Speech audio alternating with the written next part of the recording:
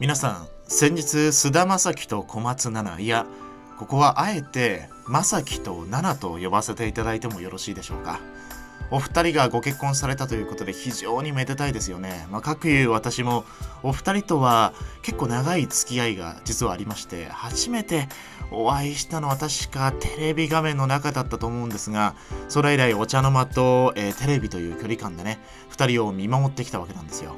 まあ、そんな幸せ絶頂なお二人にえー、私からぜひ結婚祝いを送りたいということで、ちょうどタイミングよく今、私、陶芸に凝ってまして、なのでお二人に、え結婚祝いとして、まあ、よくわかんない壺とか作ってね、プレゼントをしようと思います。それでは行きましょう。まずは、菅田将暉に向けて一つ作っていきましょう。陶芸っていうのは何がいいかっていうと、やっぱり集中することで、この、ろくろを通して自分を見つめ直す、自分と向き合う時間が得られるんですよね。まあ、正樹との思い出でも振り返りながら作っていきましょう。すでにあの完成形のイメージを浮かんでいますのでやっていきましょうまあ本当にお似合いの2人ですよねまさきはね実は皆さんこう言うと結構意外にね思うかもしれないんですけど実は私直接お会いしたことないんですよ結構驚かれるんですけど、まあ、今後お会いする予定も一切ないんですけど初めて見たドラマは何だったっけな。ちょっと今思い出せませんけど彼が演技をする様子とか舞台裏でのねこう気配りとかを見てるとあこの人はすごいんだなって感じましたね。バランスが重要ですからね。喋りながらも集中しています。真っ先にプレゼントするんだからもうちょっと全体的に大きくした方がいいかな。うん、この入り口とかも大きくないと入らないので、はい、印象深い彼のイメージですか？まさきはそうだな。やっぱり僕が一番印象深いのはあれですね。あのドラえもんの曲。あのドドドドドドドってやつ。でもあれは星野源ですねさあ形はこんなもんでいいでしょう。焼き上げていきます、まあ、とにかく演技に歌唱にあと何ですかね。彼の良さは眉毛かな、まあ、いろんな眉毛眉毛じゃなくて分野で活動してますよね。ちょっとミスっちゃったけど。まあそれでいてまだね彼28歳と私よりも年下で可愛いお嫁さんがいて、まあ、才気にあふれて金があり余裕がありねえもう私なんて怒りのあまりこのままマイクを噛みちぎってしまいそうな勢いですが無事焼き上がりました。それでは色をつけていきましょうか。まずはどうしようかな。色を塗っていきましょうかね。まずは。まさきはこれから一体どんな大人になるんですかね。まだまだ28歳と若いですから先が本当に楽しみですよね。で今回彼にプレゼントしようと思っている作品は彼の原点そしてさらなる飛躍をもたらせるような昨日のまさきより今日のまさき今日のまさきより明日のまさき明日のまさきより明後日のまさきとなれるような前を向けるようなものにしたいですね。ちょっとかなり大きくて重たいものになってしまったんですがまあこれが似合うこれが使えるような心も体も大きくてたくましい人間になってほしいというメッセージをね僕なりに込めて、えー、作らせていただいています。どのらへどこら辺に LINE を入れようか迷うけど。まあまさきはね本当は結構恥ずかしがり屋なんですよ。ああ見えて。意外に思うでしょう。周りの目とか結構気にしちゃうんですけどでもおしゃれで常に自分を大事にしている子なんだよね。まあ、会ったことはないんですが。そんな彼がねこの作品を前にしたらどんなリアクションをしてくれるのか、まあ、おそらく喜んでくれるとは思うんですけどね。やっぱ人にプレゼントするっていうのは結構怖い面もありますよね。嬉しく思ってくれなかったらどうしようって。最後にワンポイントのハートを添えて完成です。おなかなかいい仕上がりじゃないか？初めて作った割にはよくできましたね。お A 評価と。名前をつけるそうだな。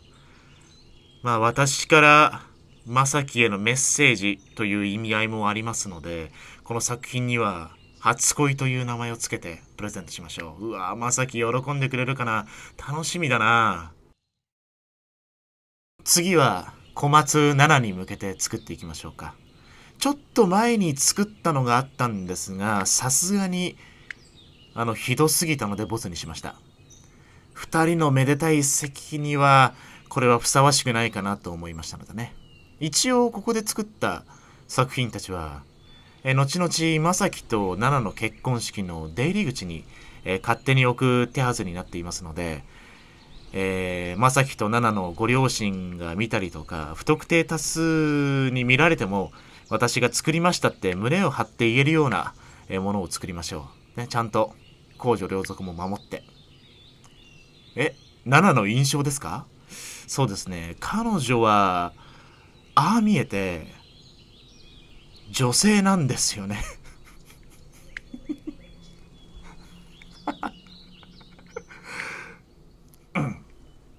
ナナはですね、昔から結構アクティブな子で、よく外を歩いたり走ったりしてて、まあ、椅子にも座ってましたね。服も当たり前のように着て、えー、水を飲んでました。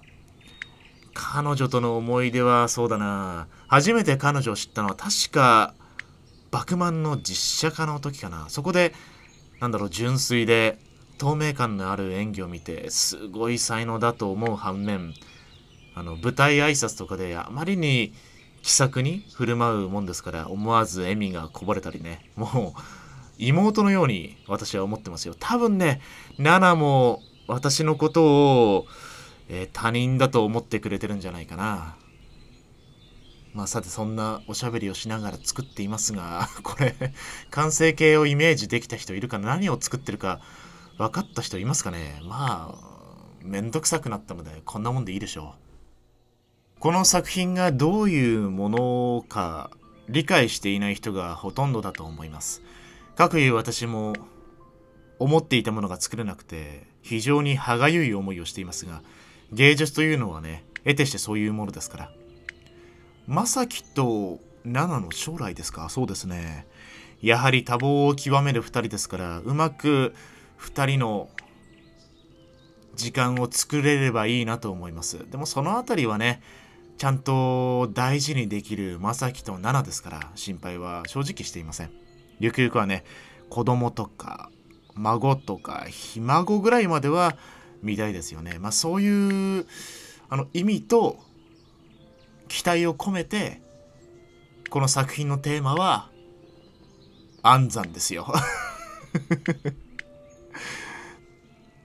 うまくこう何て言うんですかね女性っぽく見える陶芸作品を作ってるんですが見えますかね？まあこうなんでしょう骨盤というかお尻を大きくしてイメージはアフリカのパワー系ママですよ。なんとなく子だくさんのイメージがありますから。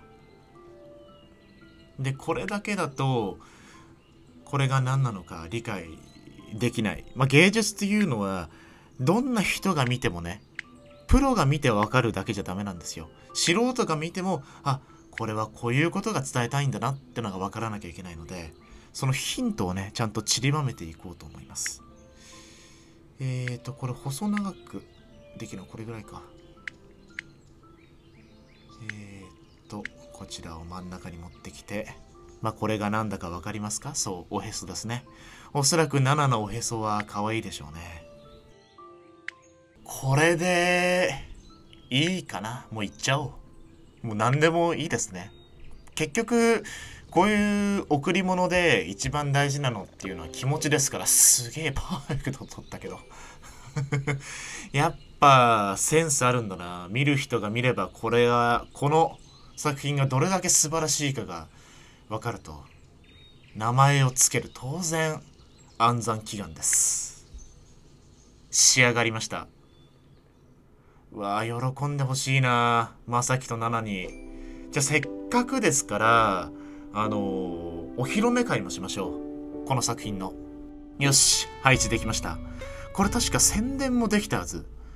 えーっと2021年を代表するビッグカッププルへの贈り物ですから当然テレビ番組で宣伝してもらって新聞のね一面にもデカデカと載せましょう。嫌ですね。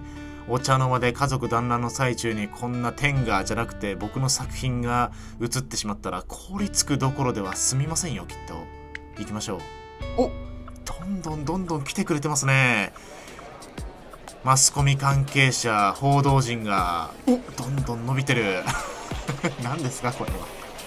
ソフトオンデマンドの会長ですか誰ですか今写真撮った人。ダメですよ。ちゃんと許可取ってください。おおめちゃめちゃ来てる。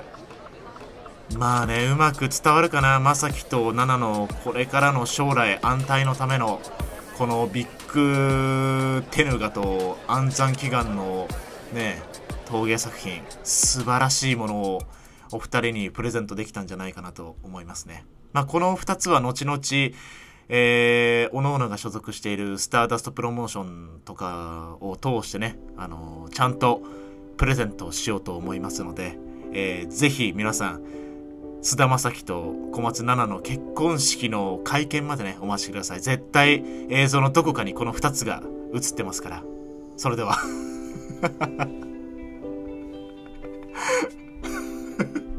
お疲れ様でした。やばすぎだろ、これ。